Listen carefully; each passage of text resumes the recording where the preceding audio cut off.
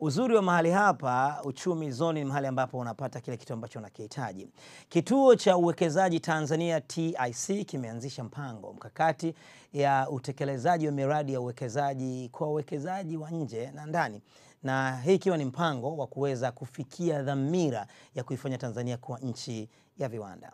Taarifa ya Asi, Asia Mtona inafafanua zaidi. Ukubwa wa maeneo ya uwekezaji, amani iliyotamalaki kila pande na mazingira rafiki yasiyo na urasimu katika uwekezaji, haya yote yapo Tanzania. Ili kuendana na mkakati wa kitaifa wa kuhamasisha uwekezaji hapa nchini, kituo cha uwekezaji TIC kimeeleza mpango wake wa kuhakikisha wawekezaji wanapatikana katika sekta zote na kuwahudumia kwa mujibu wa sekta ya uwekezaji.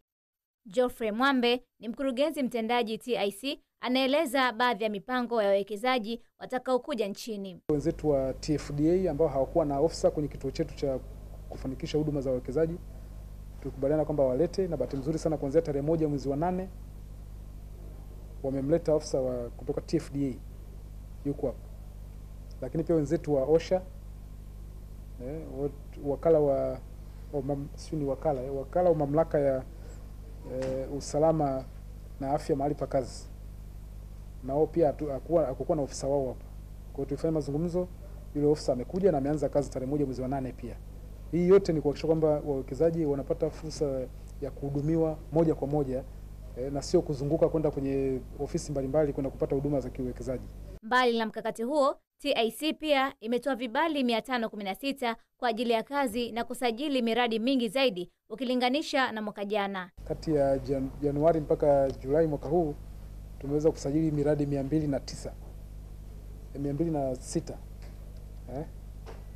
miradi mia mbili na sita ambao kati yao miradi mia moja kumi na nane ni kwenye viwanda eh? jambo ambalo ni, eh, ni zuri sana eh, kwetu na kwamba pia tunayo eh, makampuni sita ambayo yalianza mchakato tangu mwaka jana kuweza watambulike kama ni wawekezaji mahiri special strategic investors.